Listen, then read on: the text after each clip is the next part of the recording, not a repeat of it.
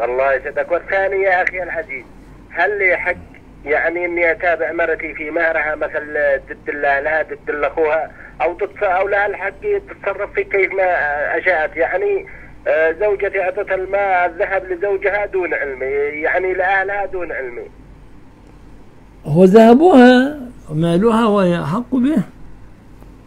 يعني ما ليش حق أقول لازم هذا زينتك وهذا تلبسيه ولا تعطي يعني ما ليش حق في ذلك؟ لا ما لكش حق في ذلك.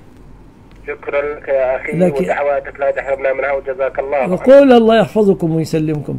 هل أنت عندكم كالمصريين تكتبون الذهب في قائمة أساس ويكون دين عندك لها ولا لا؟ لا يا أخي العزيز أنا وفيت المهر كامل. أيوة لكن أقصد ما في قائمة عليها ما, ما في الربايع. أنت عندنا في مصر الوضع يختلف شوية يعني في مصر يكتبون المهر على قائمة أساس تأسيس البيت البيت مؤسس بكذا وكذا يكتب في قائمة لل- لل- للزوجة والزوج مستأمن عليه. فأحيانا يضيفون إليها أحيانا يضيفون إلى القائمة الذهب. فيكون الزوج معناه أنه مسؤول عن الذهب. فإذا دقق لمسؤوليته عنه ي- له وظف أو تكتب أنها تنازلت عنه.